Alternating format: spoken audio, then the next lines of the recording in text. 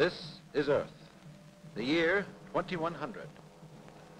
This is the headquarters of Space Patrol, and men from Earth, Mars, and Venus live and work there as guardians of peace.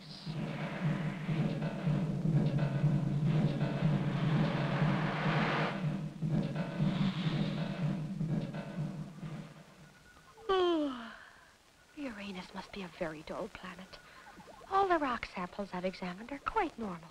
Try some of these. Where are they found? In the Uranus polar region. And begorra, it's so hot in here, we might as well be there now. Hot poles and cold equators. Everything on Uranus is upside down, just like your inventions. See what I mean?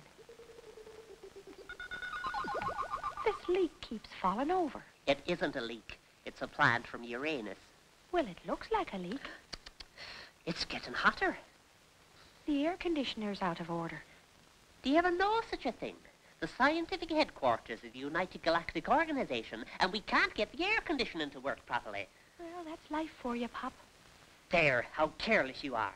You've knocked the plant over again. I didn't touch it. Well, it didn't get there by itself. Pick it up, pick it up. Most interesting. This rock sample is highly radioactive. Can we date it? Mm, at a quick calculation, I'd say the radioactivity dates back uh, 4,000 years. 4,000 years. Perhaps there was an atomic war on Uranus. It is unscientific to make such wild guesses. It's the Irish in me. Now, how did that get there? What? This plant. You keep throwing it out. I haven't touched it. What a girl you are for putting the blame on your father.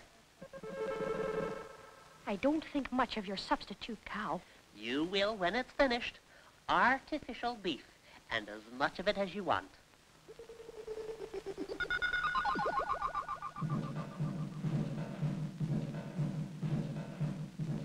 I suppose you remember that two years ago, we lost 20 men and a space freighter on Uranus. They just disappeared, didn't they? Yes. Well, I sent an expedition out there to see if they could find the wreckage. But all they discovered was the empty freighter and no sign of the men. Maybe they got lost in the jungle and died of starvation. We'd have still found their bones. But these men have vanished. Any wild animals on Uranus, Colonel Raeburn? There's no advanced form of life there, whatever. Only plants. Well, plants couldn't have killed 20 men. Now, we should send me to Uranus, Colonel. Mm, I can't spare you. The round trip would take six months. There, that's the last rock examined. I'll take my report and send it to Colonel Raeburn. Have you tested the two rocks over there? No. But why did you move them? You've no right to touch the samples. I put them on the plant to stop it from falling over. Well, give the rocks to me.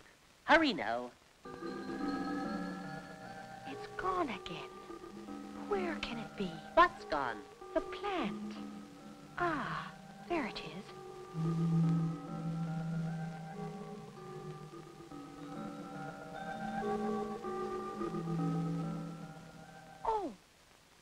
The matter?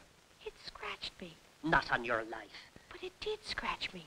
Then bathe your hand in ultraviolet rays. It might be poisonous. Dear, dear, dear. Women in a lab are more bother than they're worth. I'm as germ-free as a... Oh, the leek moved. Nonsense. It did. Look at it. You need a rest, me child. But it's true. There. It moved again. If you're joking... I'm not. Every time we stop looking at it, it walks. There. It did it again. Turn your head quickly.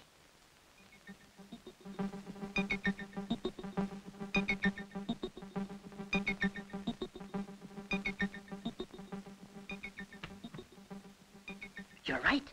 It did move. It can't be a plant. It doesn't move when we're watching it. Maybe it doesn't want us to know what it's doing. Then it must have some sort of a brain. Like a dog or a cat. Even more intelligent. It can't be human. It certainly isn't an ordinary vegetable. We'd better ask the biological department to test its electrical impulses. Oh, dear. The poor thing's scared. It probably doesn't like noise. I won't let you send it to be cut up. Trust a woman to get emotional. Very well, I'll do the experiment myself. How? I'll cut one of its tendrils. I won't let you. How would you like to have one of your tendrils cut off? You can't compare your father to a vegetable. Come, come, give it to me. I promise not to hurt it. I'll just prick one of the tendrils very gently. I can't bear to watch. Then look at the dials instead.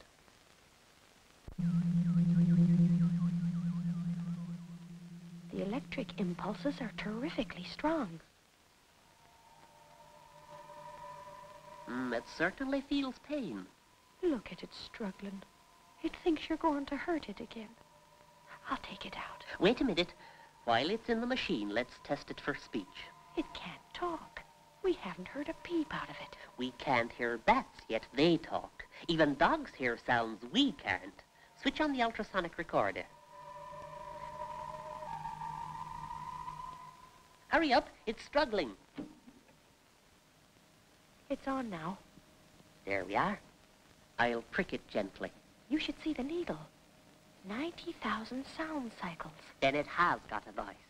Let me take it out now. I'm sure it's scared.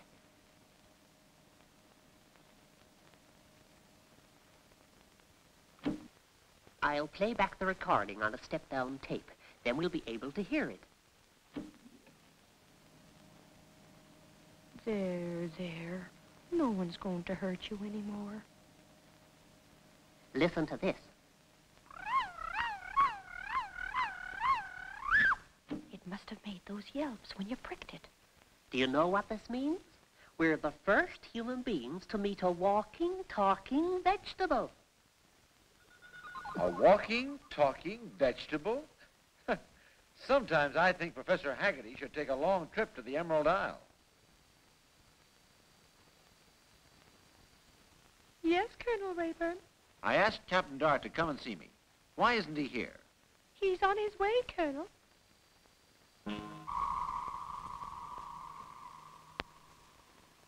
Ah, Dart. I've been waiting for you. I suppose that means I'm going on a mission. Yes. Down to Professor Haggerty's lab. Marla, is my monobile ready? It is downstairs waiting for you. Come on, Dart. I'll tell you the story on the way.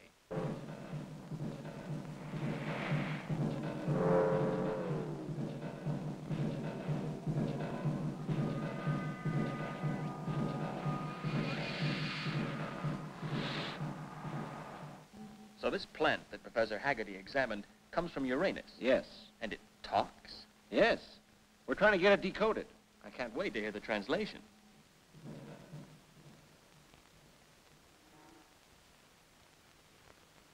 So this is your talking vegetable. Unfortunately, the decoding computer can't translate what it said. I'm not surprised. My daughter feels the plant is too young to speak properly. You mean the recording you've taped might be the sounds a baby makes? Exactly.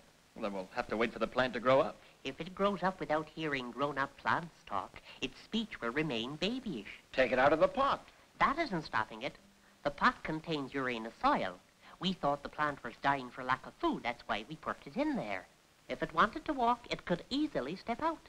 Where were you the first time it took a stroll? Here. I was looking at the air conditioner. It was out of order and terribly hot. 78 degrees. Disgraceful. 78 degrees. That's the summer temperature at the Uranus pole. Professor Haggerty, if you want that plant to walk again, turn up the heat. Be jabers. Why didn't I think of that myself? Don't blame me if I'm wrong.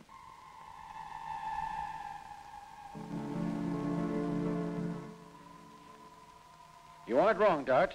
And you've talked yourself into another mission. Uranus? Yes. I want you to bring back some larger plants. Why? If their speech can be decoded, maybe we'll learn what happened to the 20 men we lost on Uranus. Wonder why Dart is away so long. No doubt Colonel Raeburn is getting ready to send us on a new mission. I wish the Colonel would send us on leave instead. I'm getting homesick for Mars. And I am desirous to visit Venus again. I'm afraid you'll both have to wait for that leave you were talking about. We must prepare for takeoff at once Where are we going? to Uranus. What for, Captain? There's nothing on that planet. Raeburn wants us to bring back some plants for him. Plants? Don't tell me he's getting interested in gardening. Uh, these are special plants, Husky. Now, come on. Let's go.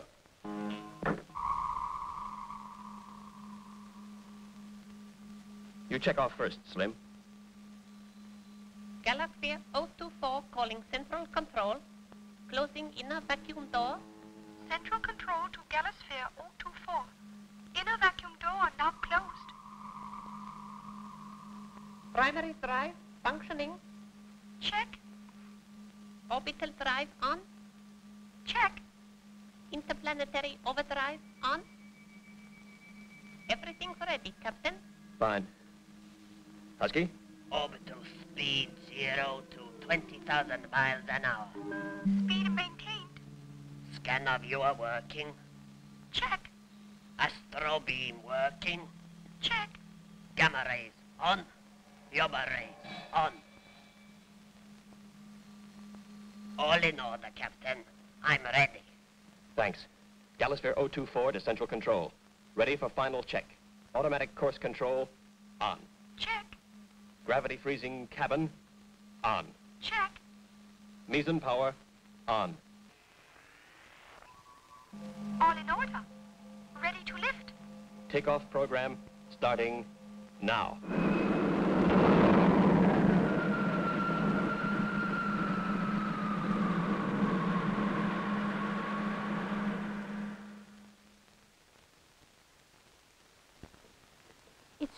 To think that this plant's just a baby. Now, don't start getting motherly about it, or you'll be wanting to take it home. Of course I want to take it home, Pop. Well, you can't.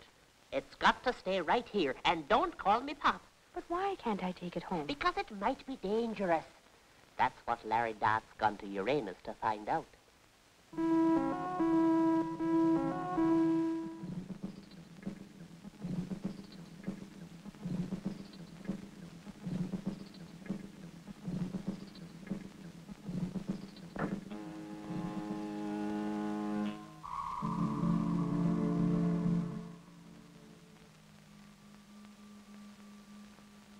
It's wonderful to wake up again. Are we near Uranus yet, Captain? I'll go and check.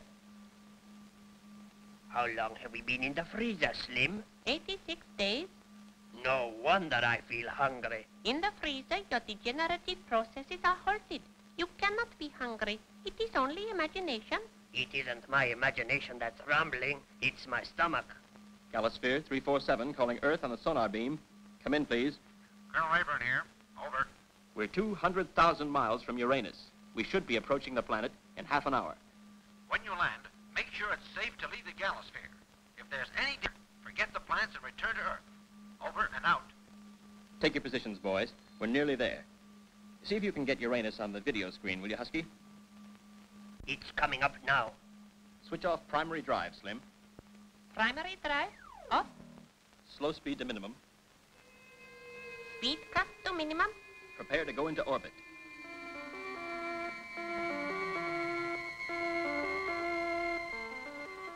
Our speed is now 3,000 miles an hour. We've got to be slower than that. Speed now 1,500 miles an hour. Right. I'm switching to robot control. Prepare for landing.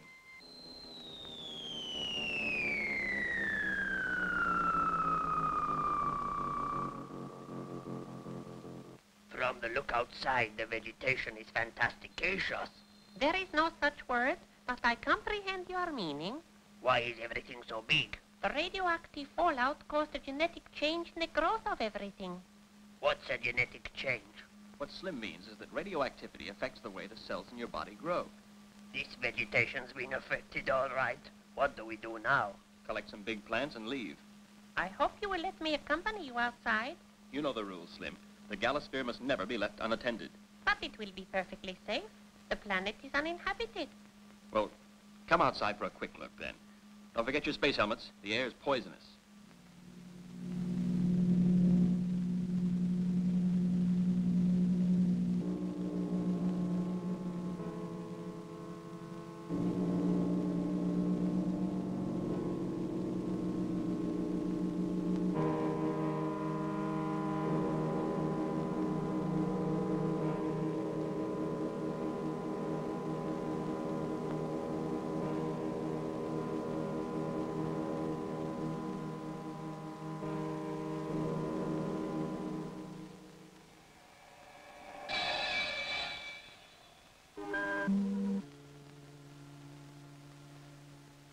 My equipment feels the same as usual.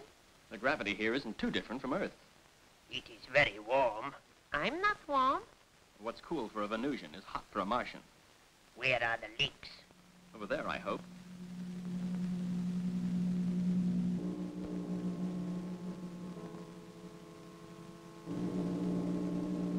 Captain, your assumption is correct. Haggerty's daughter was right. Their leek was only a baby. If those are leeks, I would like to see a turnip. I am going to explore further. I'll feel happier if you're in the Galasphere. As you wish, Captain.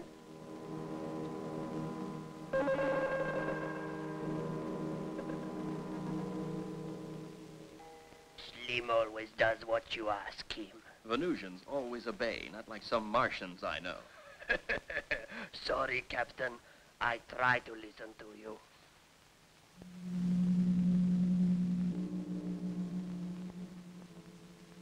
I don't like the look of these leeks. They keep moving all the time. The sooner we take off from here, the better. Help! Help! That sounds like Slim. Help! Save me! I'm being strangled! Dad! Come quickly! Help! Help! I can't see you, Slim. The plants are in the way. I'm here! Where? Here! Keep calling and I'll follow your voice. Don't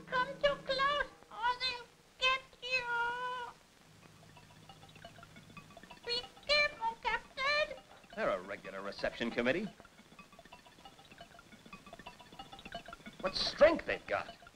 Try get away! Forget me! Get back, Husky! They're dangerous! We can't leave Slim. They'll kill him. I tried to reach him, but it was hopeless. I can't get past those brutes. I won't let them kill Slim. Husky, wait. I'm going back to the Galasphere for the laser gun. It'll be too late. Get away, Husky! You must not risk your life! I won't leave you with these creatures. Ah! That's finished him. And the other ones run away. There is nothing to laugh at. I am sure it has gone to get help. We'd better not wait around. Come on.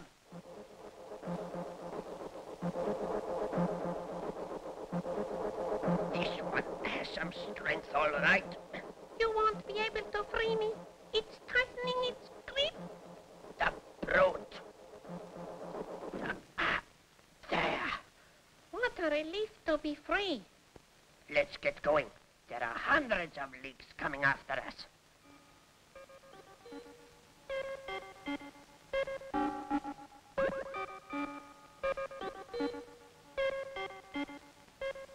We must tell Dot not to come back.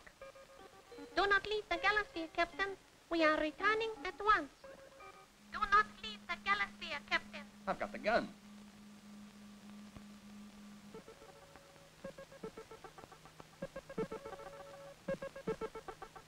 There are too many of these plants. We will never kill them all.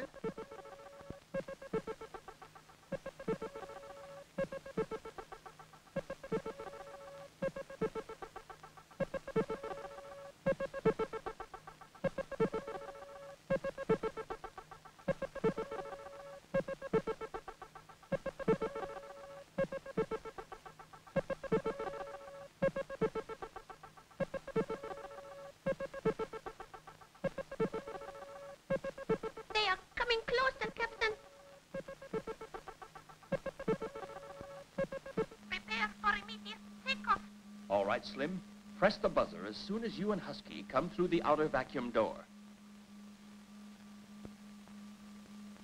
Have we far to go, Husky? No. C- can you move faster? Those leeks are gaining on us. Come on, Slim. Faster. I can't. I am too tired. There's only a few more yards to go, and we'll be safe. You are a good friend. Save your breath for running. I'll give them five more seconds, and then I'm going after them.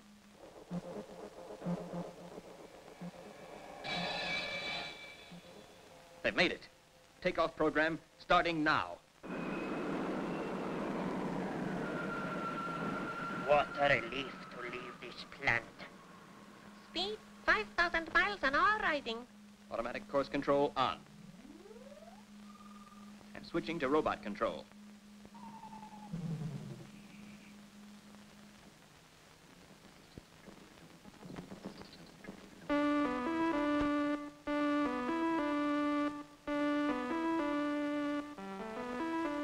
Uranus is one planet I intend to erase from my travel itinerary.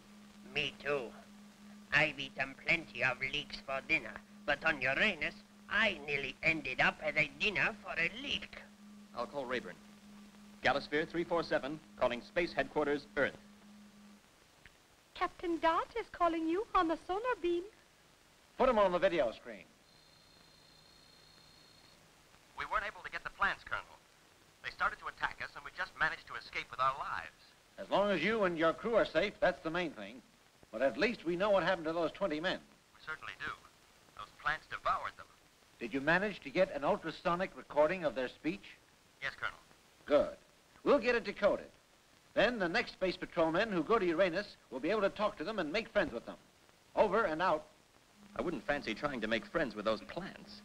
In their own way, they might be as advanced as we are. If those leeks are advanced, I'm an onion. Talking of onions, I could do with some soup. You can dream about soup when we're in the freezer. Come on, you two. Let's get going.